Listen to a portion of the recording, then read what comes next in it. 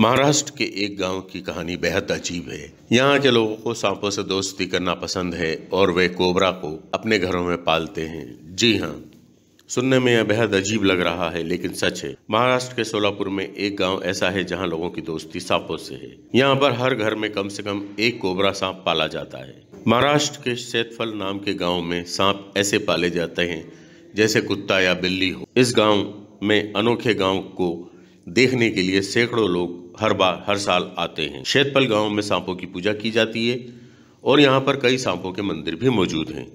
शेतफल गाँव में किसी भी सांप को मारा नहीं जाता।